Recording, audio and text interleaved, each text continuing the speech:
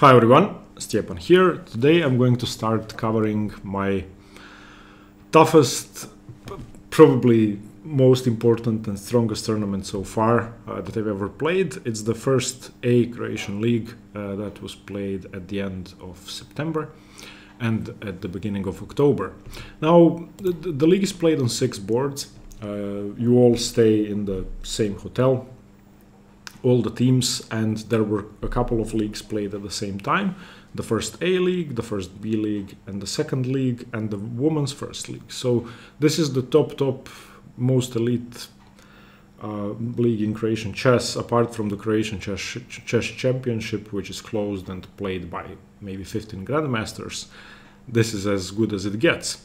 Now, you may be wondering why I'm playing. That's a legitimate question. I should not uh, have been playing the, the first league, of course, because I'm way too weak.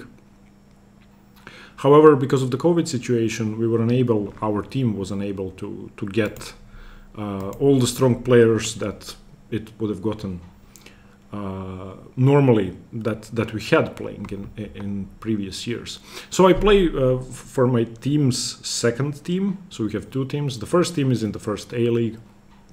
The second team is in the third league, and there I'm strong enough. But anyway, I got to play, and uh, the feeling before the tournament was I just don't want to have zero out of nine. That that was the only thing I, I wanted uh, I knew that I was going to play a couple of GMs, a couple of IMs, and probably FMs were going to be the, the rest of the people. My opponent in first round was an international master, uh, Armanda. And of course, I, I, was preparing for every game like a maniac, and I wanted to do well. Uh, even if I lose, I wanted to. I, I, didn't want to go down without a fight, and I didn't want to embarrass myself. Uh, in this game, I, I did the exact opposite, unfortunately. So, so let me show you how the league started. So I'm white, uh, and I played pawn to d4. Uh, I was actually preparing e4 against this opponent for a couple of days.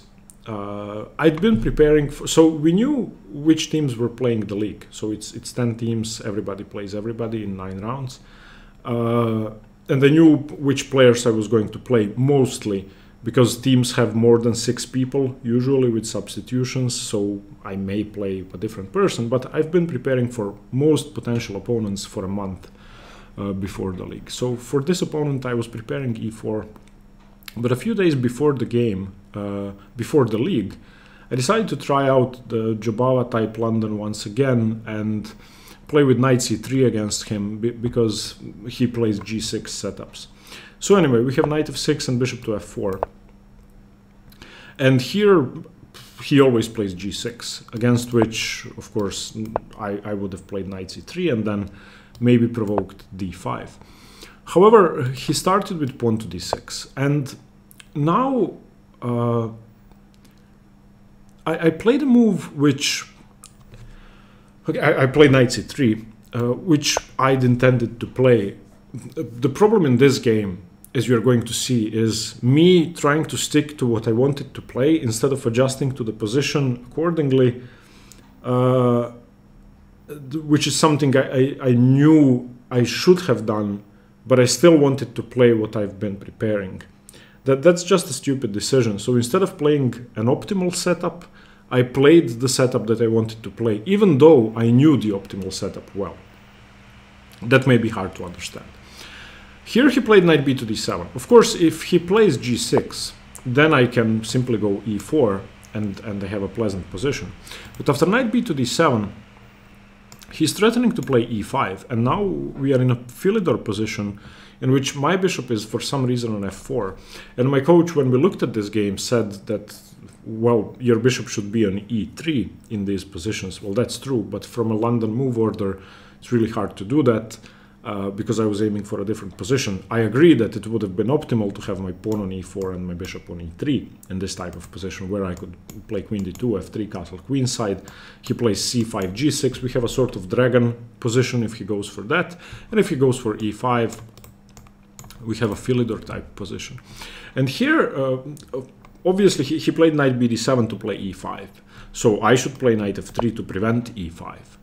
There's just no doubt about that. Instead of that, I played a move which I was going to play against his usual setup because I was expecting him to go for his usual setup. So I played e4, which is just a blunder. I don't remember ever blundering on move 4. Uh, and it, it's not about theory. I knew what the correct move was. Again, it's about my personal choice, which was just bad. Again, if he plays pawn to g6, then I'm happy. I can play queen d2, bishop g7, bishop h6, castles, just... And I have a pleasant position. But of course, he, he plays e5. And now he gains the tempo on my bishop. I have to move my bishop or I have to take. Both are bad. I chose the worst option. So I took on e5. Uh, taking on e5 gives black such a pleasant position, gives black everything he wants. Now, my coach plays these positions with black. He always plays the Philidor slash Pirc. And, and he is very familiar with them. And when we looked at this game, I could see in his eyes that he, he, he looked really disappointed and he, he thought this was just horrible. And it was. So, so what's the problem? Uh, I, should play bishop e3, just accept that I'm slightly worse. When I play d5, uh, yeah, I, I, I, gave this move a double question mark in the study.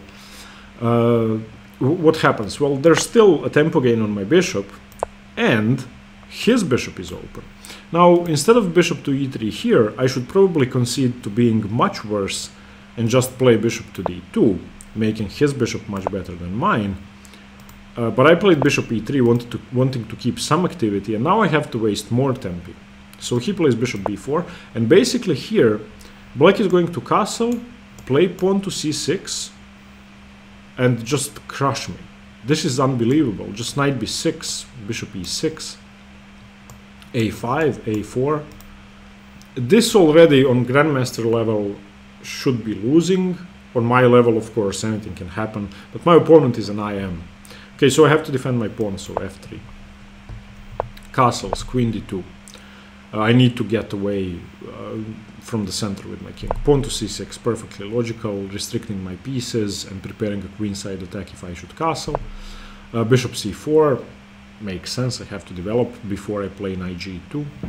And here uh, queen e7 was played, which is okay. I think it was probably stronger to just go b5, a5 uh, and just start pressing. Because after b5, bishop b3, maybe not a5 straight away, but just knight b6. And getting this knight into c4 after bishop e6 is extremely strong. If he doesn't want to trade queens, then fine, queen e7 or even queen c7. He played queen e7, and here I played a3.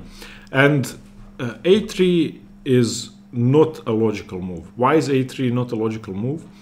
Uh, because black wants to trade this bishop for this bishop, and the only way to do that is to play bishop c5, and a3 loses a tempo if black wants to do that. So playing a3 and black playing bishop c5 just helps black what he wants to do, make makes my position slightly weaker, because if I castle queenside, this is going to be a target to undermine and it's just a bad move. I should have played knight g2 straight away. If he wants to play bishop c5, then I did not lose a tempo, I can just castle. And th this is much better, obviously. I don't have a pawn on a3 and I've, my king is on g1. Okay, but a3. Bishop c5, knight g2 now, knight b6, bishop to b3, and bishop to e6. And in this position, obviously it's it's very hard to play for white. Uh, I don't know. I I don't know what exactly I should be doing here. The only thing I do know, or the only thing I did know during the game, is that I have to trade pieces off. If I trade pieces off, then I'm okay. If I don't trade pieces off, I'm in trouble. So I found a bad way and a fancy way to trade pieces. Here's what I should have done, and th this is just a sensible, simple solution to my problem. Uh, I should just play bishop c5, and after queen c5, just take on e6, f6, and now castle somewhere. Uh, again, it should be slightly worse, but I can go castles queenside, rook d8, queen e1, king b1, knight c1, knight b3, and, and I should be able to hold. This is a weakness. It does restrict my knights a lot. But if I can get my knight into c5 at some point, maybe trade off knights with, with knight a4 at some point, then I could be okay. Instead of that, I played knight a4 straight away. And again, I gave this move a double question mark because it's absurd. I did manage to equalize out of that dreadful opening. Uh, my opponent did not play the most precise moves. He played knight b6 before b5. He didn't start attacking. So, I mean, his moves were not blunders. They were just not the most precise way to punish my, my poor opening play. But knight a4 gives my equality away. Why? Uh, he takes on a4 uh, if, if, he doesn't take on a4, I take on c5, and I should be okay. If he takes on e3, I got my queen away from the d file. And if something like this happens and he takes on b3, I can even take with my queen. And again, piece trades help me. But after knight a4, he just takes on a4. And here's the problem. Uh, bishop takes a4 and he plays knight to d7. And now we can see uh, that the strategic battle in this middle game is all about the c5 square. Why is it about the c5 square? Well, I'm probably going to have a pawn on b3, which means that the b3 square and the d3 squares are going to be extremely weak. Why am I going to have a pawn on b3? Well, if he ever plays b5, which he should and could play whenever he wants, in fact he could have played it now, I'm going to have to recapture with the c pawn. For example, if he'd played b5 here, uh, then here, and I, I, can probably take on c5 first, but let me just show you this is going to happen anyway, and then plays knight d7. Once this knight reaches c5, uh, this is strategically very hard to hold because you have two very bad weaknesses. But he played knight d7 first, and here I played the, the final mistake, after which there is no return anymore. So, and, and also, if I wanted to explain this move, I just couldn't. Uh, I just don't know what to say. I played queen to c3. Uh, I guess I wanted to be able to meet b5 with bishop to b3. That, but that's about it. Uh, also maybe avoiding rook to d8. Instead of that, as was pointed out by, by my coach and what we analyzed uh, is knight c1. And knight c1 is a great idea, which I did see and I played it a few moves later, but I only played it when it, it was already impossible to control c5 sufficiently. Why is knight c1 good here? Well, knight c1 is good here because it prevents this idea of CB, which means that d3 and b3 are protected. So it fights for c5 directly because I can play knight b3 and knight d3. And it also controls the two key weaknesses uh, in case c5 is lost. So in case I lose the key square, the biggest weaknesses that can be targeted from c5 are supported. So knight c1 is uh, a, a, very good move. The position is still worse for white, but knight c1 is is a great way to try and salvage things. For example, rook f to d8, knight to d3, bishop e3, queen e3. He plays knight b6 here. Again, doubles my pawns, but now it's very hard to, to get the knight uh, into c5. Uh, rook to d4 maybe, castles kingside. Of course, black is better. But maybe I can hold this. Maybe I can hold this. Uh, it's not easy, but it would have been much easier than the game. Instead, queen c3. And now simply bishop e3, queen e3 and knight c5. And yeah, uh, you can try playing this position for white. Uh, I think it's a great example uh, exercise for positions which are slightly worse not bad enough to be lost, but worse, and which are very hard to hold. So this is very good for a training position. Set it up against a stronger player. Try to hold with white pieces. I, th I think it will be very hard and a very good exercise. Okay, bishop b3. That's what I have to play. Takes. Of course, he takes with the bishop. He wants to put pressure on d3 and b3. And then, yeah, d3 is terminally weak. He plays rook f to d8. Now, as I said, I played knight c1, but it's too late. I'm, I've disconnected my rooks, or potentially disconnected them once I managed to get castled. And obviously, my position is busted. Uh, worse pawn structure, worse knight, worse rooks, uh, bad king. Uh, it's just unable to castle. Okay, and here my opponent played a brilliant move, queen h4 check, g3, and queen to h3. And uh, for the first five minutes, I wanted to resign. Uh, and then I decided not to resign because it's the first game in the league. And honestly, I didn't want to be the first one to finish. Uh, so I didn't resign. I cannot take the knight. If I take the knight, queen to g2 wins. Uh, threatening mate, threatening the rook. Uh, there is no way to save everything. Uh, there's just no way. Uh, yeah, so I played king to f2, preventing queen to g2. Knight e6, a very good move. Uh, now that d3 has been defended by the knight, he's coming into d4. I played knight e2, defending d4, rook d7, and here I, I have to give up the h2 pawn with check. If I don't give it up, then I'm never getting my rook to the center. Obviously, d1 is still defended by his d7 rook, so I'm going to have to trade, which means that h2 is loose, but if I don't play rook d1, then I, I, knight g1 is just, I, I, I better have resigned. So rook a1, takes, takes, queen h2, king f1, h6, solving the last issue in his position, very professional. Rook d7, doesn't help. Queen h3, king f2, knight f4.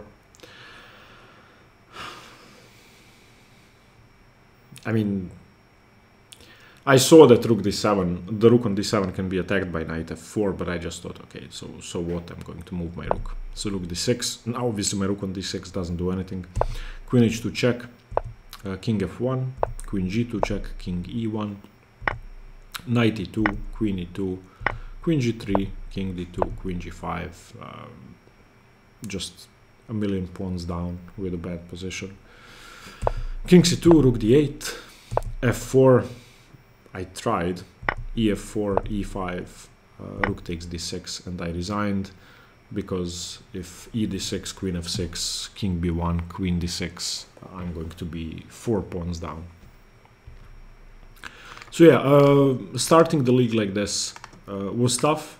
Uh, but yeah, I mean, I did it to myself. I, I played a bad opening, I played a bad middle game, and then I got crushed with a very nice tactical piece sacrifice, uh, which I couldn't accept. I mean, my opponent played well, I didn't. And, and that's about it. Still, I've been through this game maybe five times since. Uh, and every time I looked at it, it was less and less. Uh, well, it was harder to understand why I made those mistakes. But I still did make them. I don't think I, I make such obvious mistakes usually, especially not in the opening.